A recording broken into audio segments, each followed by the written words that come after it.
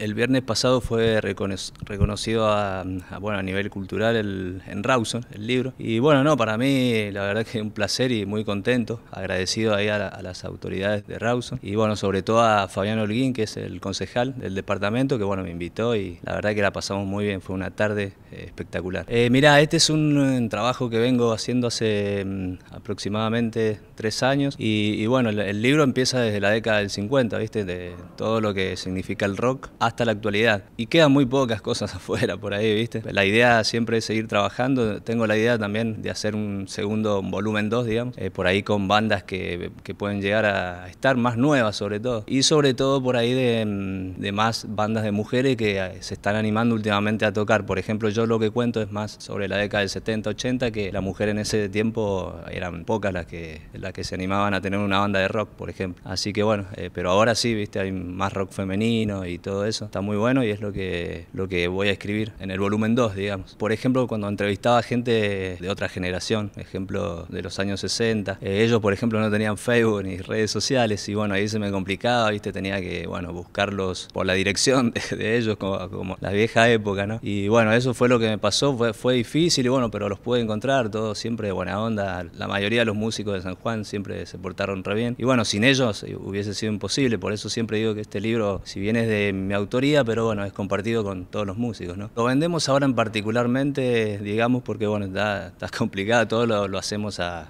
pulmón, ¿viste? El, libro. Y bueno, en particular, como te decía, por Facebook, en, las páginas San Juan Rock se llama. Estamos en Instagram también, por ahí nos pueden contactar si, lo, si, les interesa conocer la música, el rock sanjuanino. Y bueno, ahora igualmente los tengo, los tengo agotados, ¿viste? Pero, pero bueno, la semana que viene estamos trabajando más con la editorial, Abdula se llama, así que bueno, a, full siempre. Primero te cuento lo presentamos en, acá en San Juan, en Chalet Cantoni, y bueno, eh, fue una gran repercusión, ¿viste? Porque bueno, ahí eh, llegamos a otros medios, y bueno, y ahí eh, pudimos viajar a la Feria Internacional del Libro, y bueno, no, la verdad que fue una experiencia, primera vez que iba para allá, y bueno, se vendieron todos los libros, fue el libro más vendido en el stand de San Juan, una gran experiencia, y la verdad que bueno, espero que se pueda repetir. Y bueno, y ahí después volvimos y estuvimos en, en Rawson hace poquito, también presentándolo. Y se vienen muchas cosas más durante el año, así que lo vamos a presentar es la idea por, por todo San Juan, por lo menos.